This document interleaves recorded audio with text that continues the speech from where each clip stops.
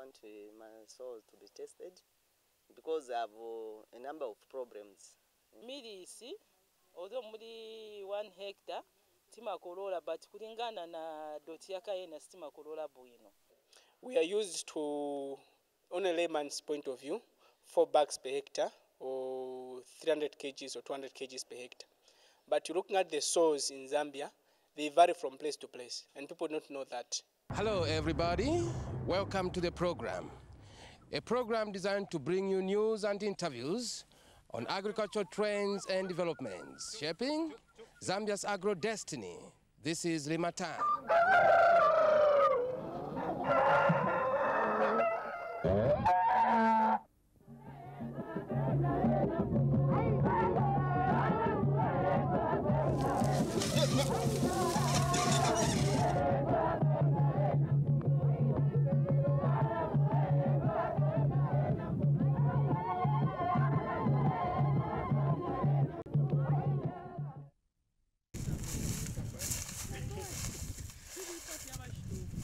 Fertile soils are essential to increasing crop production. Farmers work hard to improve and maintain soil fertility in their fields. A decline in yields is enough to make a farmer worry about fertility of the soil. Emma Makamba is a farmer of Misolo Agriculture Camp in Kasama district. Mrs. Makamba is worried with the health of her soil. She wants to know why she recorded poor yields in groundnuts and beans in the 2018-2019 farming season. Her impressive yields in maize have not stopped her from worrying about the status of her soil. She plans to take some soil samples for testing at Misamfu Research Station. She is hopeful that the results and recommendations will help to increase yields in beans and groundnuts. My land is about five hectares.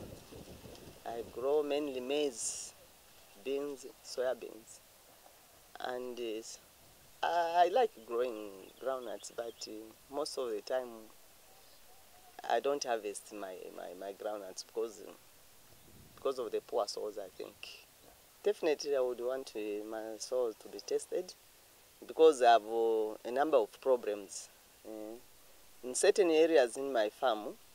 Uh, crops don't do well. That includes maize itself. So I would like to to have my soils being tested, and uh, I like the growing different crops, uh, crop rotation, like crop rotation. But each time I do the rotation, in those areas affected areas, still I don't get any better results. That's why I want my soil to be tested. Soil testing is important because it enables a farmer to know the nutrient content and acidity of soil. The Zambia Agriculture Research Institute, ZARI, in the Ministry of Agriculture, provides soil testing services to the farming community. Its mandate is to generate and disseminate appropriate farming technologies that will help farmers to increase agriculture production, in turn, enhancing household food, nutrition, and income security. ZARI, with support from the Agricultural Productivity Program for Southern Africa, APPSA, has procured and installed state of the art laboratory equipment in its research stations. The new equipment will improve analysis in plant diseases, pests, and soil testing. APPSA is a project that has been funded by the World Bank to ZARI and its partners. And within that project, we have procured laboratory equipment that we are using in the labs to analyze um, uh, soils as well as plant samples so that we can come up with uh, recommendations to farmers. As you are aware, in this country, one of our major challenges is the fact that we have blanket fertilizer recommendations, especially for maize, where we have a similar rate of basal dressing and a similar rate for, for top dressing, 200 kgs D, 200 kgs urea in all areas, in all agroecologies, despite having different soils and different rainfall patterns.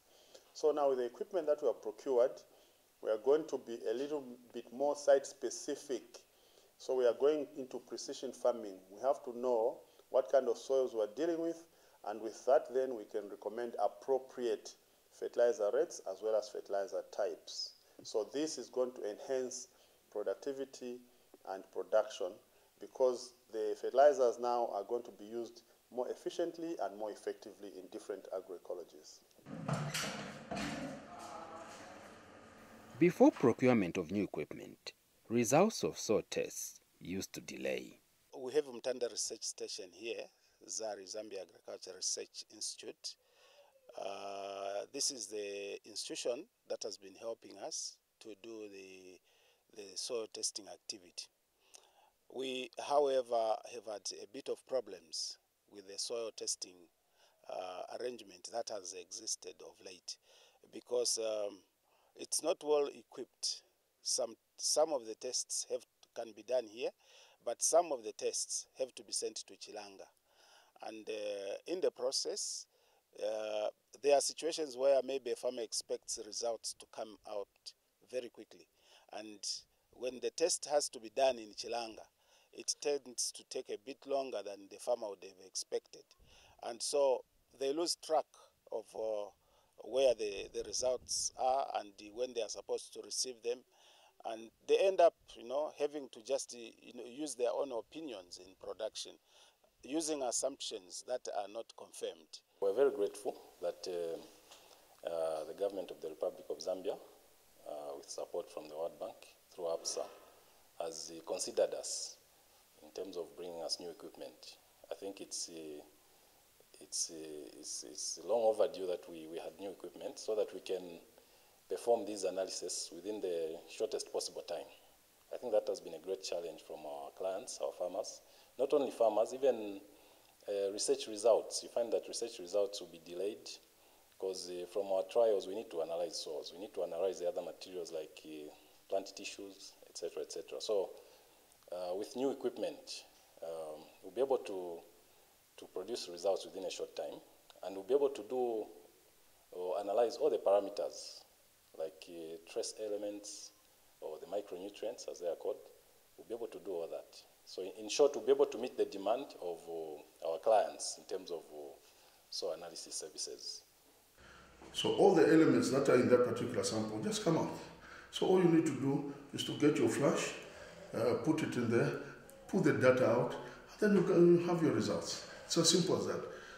Currently, researchers are able to conduct comprehensive soil and fertilizer tests and release results within a short period. We have been equipped with equipment which can determine the levels of the metals which are necessary for plant growth, the pH meters which are able to determine the pH, and it's just an, a, a good array of equipment which has really made this lab to be up to date with the current demand of soil analysis in the country. Basically, we're involved in analyzing for the levels of uh, nutrients that are needed for plant growth. That is the NPK, that's nitrogen, phosphorus, and potassium for the macros and the micronutrients. We're supposed to also determine the levels of manganese, zinc, copper, iron, and boron. But initially, before we do all this, the soil, like in human beings, has also what we call its temperature. Uh, water can equate to temperature, which is the pH, because from the pH, this is the cardinal parameter in the soil, because it will guide you basically on what you're going to find in that soil in terms of nutrients, in terms of microorganisms, as, as well as it will the pH of the soil will determine the procedure supposed to use to determine these other nutrients. Whether it's alkaline or acidic, the pH will tell you which method you're supposed to use to determine these nutrients. We are able now to quickly analyze the lime, uh, quickly give the results, and even actually grade the lime as to what it belongs to, uh, to what class it belongs to. Uh, we can also look at uh, the issue of fertilizers. Our laboratory is mandated actually by law to test all the fertilizers which are coming in the country, meaning we want to safeguard our farmers from buying fraudulent fertilizers. We have uh, what we call an inoculant, which is used uh, in the production of soybeans. So that product actually helps in biological nitrogen fixation. So what that does, we know that um, we know that uh, nitrogen is one of the limiting uh, nutrients in the soil. So this product that we have here is what we produce from here, and we and with the, this product is available for farmers to just come and uh, source it from our lab. So what it does, it actually helps the farmer reduce the cost of input by using this and offsetting some of the chemical fertilizers that might be needed. What it does is it causes nodulation on the roots. So when that happens, you have an availability of nitrogen, which is fixed by the bacteria. Pests and diseases adversely affect crop production. Researchers at ZARI are utilizing the new equipment to conduct research on effective control and management of pests and diseases. we detect the diseases in the samples that are brought to this laboratory.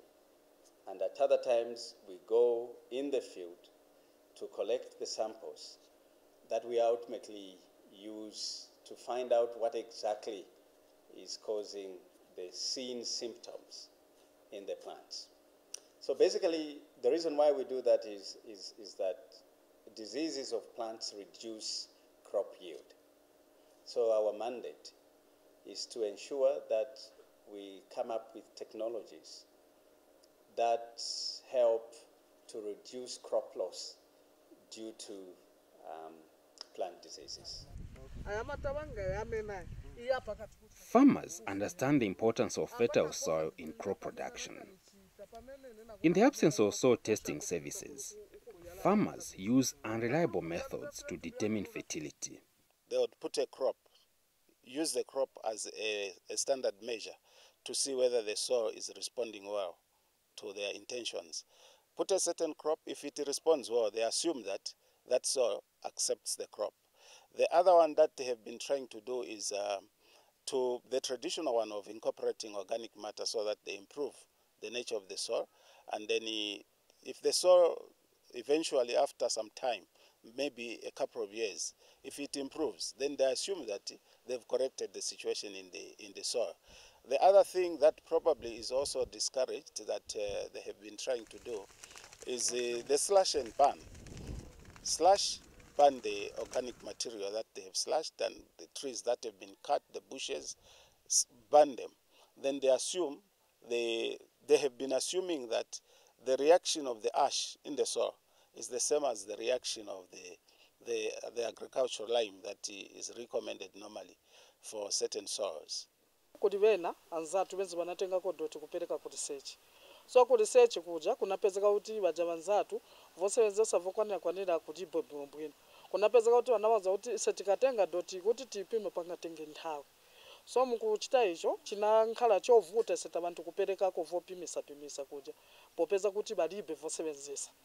So kumankhala cheke kutaleka chichikakanga nikuleka kulibe kupitirizayi kofunika kuti nipimise doti because nizaziva nizaziva ubwino wapaja pamalo wakanipimira doti nizaziva kuti apa pamalo panga pafunika mm, chimanga apa pamalo panga pafunika binzi apa pamalo panga pafunika uh, nshava so nga nichitiramo chitiramo chabe ndiye paja nona uli mukhala wobwerera kumbuyo umankhala losi instead muli 1 hectare maybe nichosemo milisi yambiri nibozipeza chabati nachosamo olo 30 bags olo 40 bags. Nshava maybe nipezako chabe kasaka kamodzi beans olo half bag. So ubwino wonipimira dothi nizaziva kuti apa pafunika chaso apa pafunika chaso.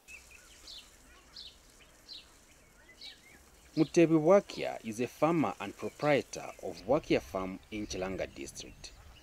He ventured into farming after retiring from formal employment.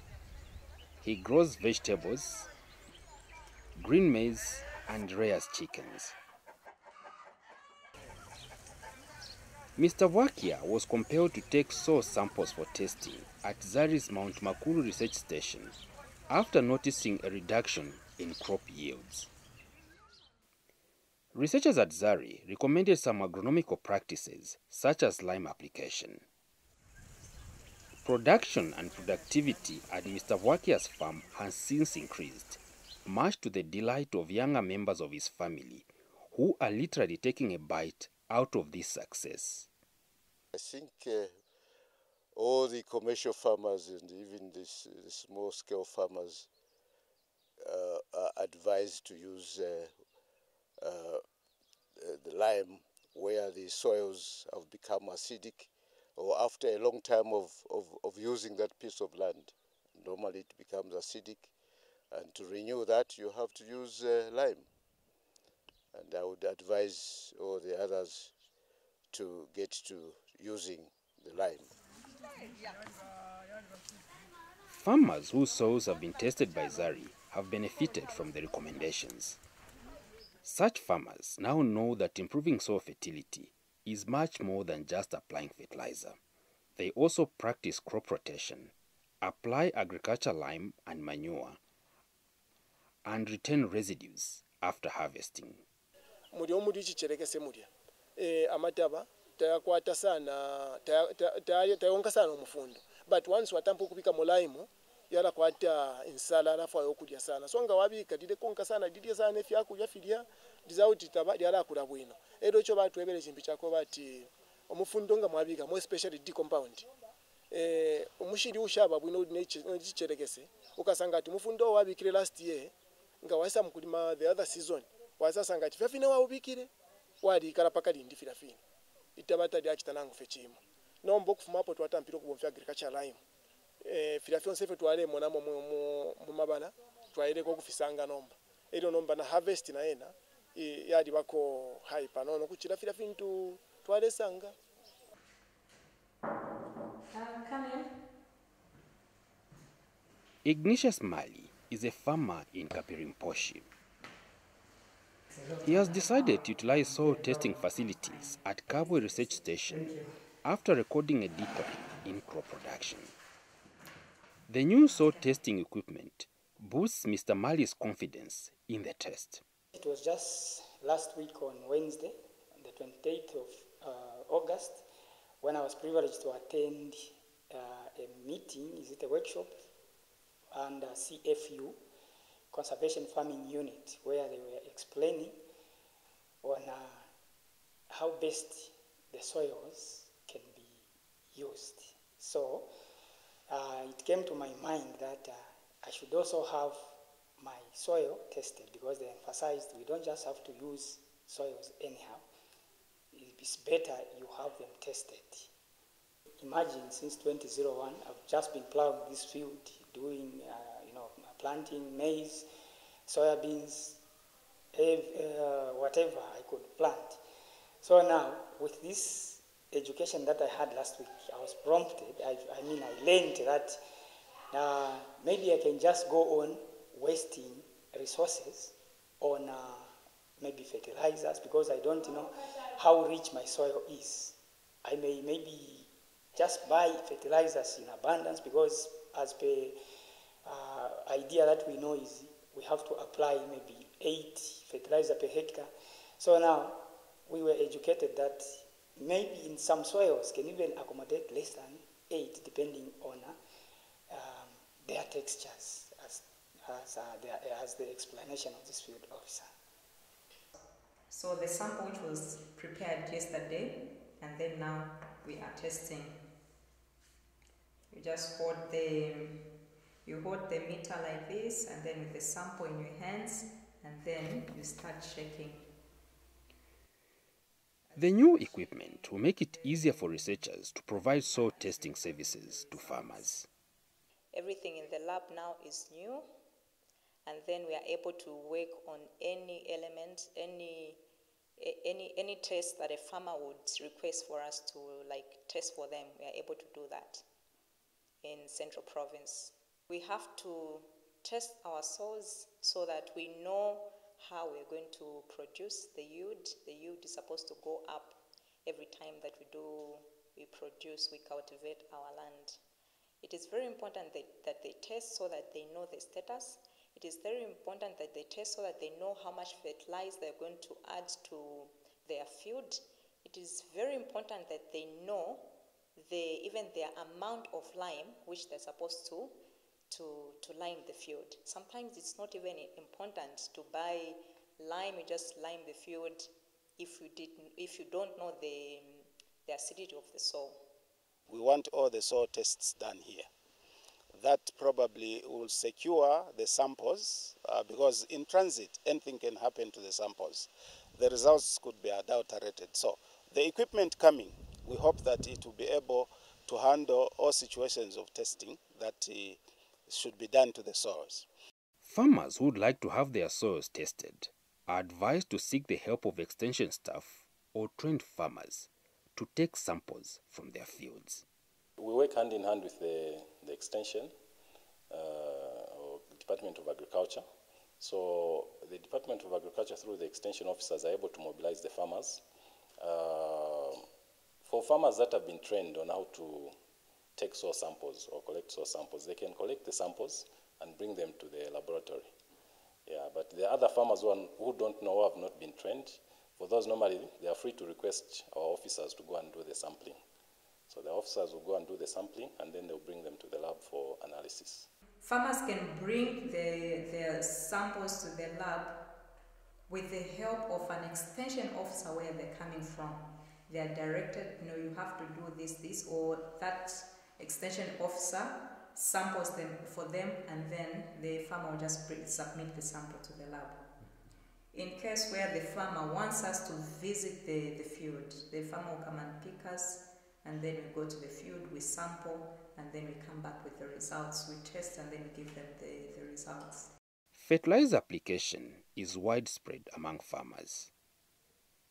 It is important for farmers to buy genuine products and adhere to recommended application rates to get desired results. ZARI analyzes fertilizers to protect farmers from adulterated products. Good Hands Fertilizers is a company which specializes in bioorganic fertilizers. The company tests its products at ZARI to ensure that fertilizers and agriculture lime meet national standards. ZARI is uh, an institution that is uh, government owned and the, every fertilizer company that comes here has to do their testing through ZARI. And uh, when people are aware that the fertilizer has gone through ZARI, they'll be, they'll be able to gain confidence in the company.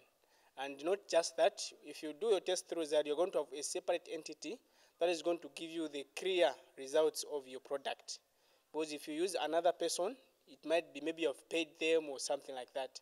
But with the ZARI, you take them as they are, then they give you the results as they are.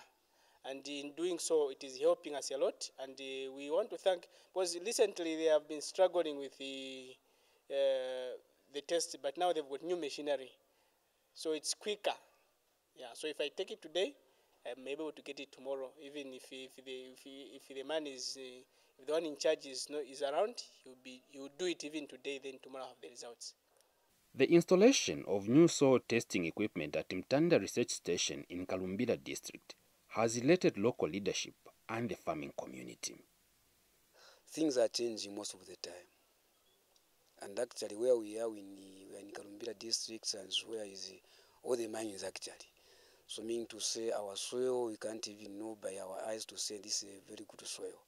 Now, as you have mentioned that you are bringing the new machines in our station, for us it's a blessing. You know, a soil needs to be tested. Uh, why I'm saying so is that uh, our whole farming system, we had this, a, a, different kind of seeds which, which, we, which we are planting. For today, meaning to say we have a set a, a changeable seeds, you know. So meaning to say some seeds before you're planting, you should know what, what, what you are doing yourself as a farmer. Meaning to say, if I bring the new equipment to our station, for us it's a blessing. And this is also, it's going to even to, to, to, to reduce uh, some costs, as I was saying earlier on. Our farmers used to, to, to do some tests at the research station. And unfortunately, the results, of, was, was, the results were being delayed. This is because of we didn't have any machines to bring up uh, I mean, results. Soil testing is important in crop production. Soil analysis helps farmers to know the nutrient content of their soil. The soil testing equipment procured by ZARI with support from APSA will make it easier to have their soils tested, which is a key step in improving fertility, later on production and productivity.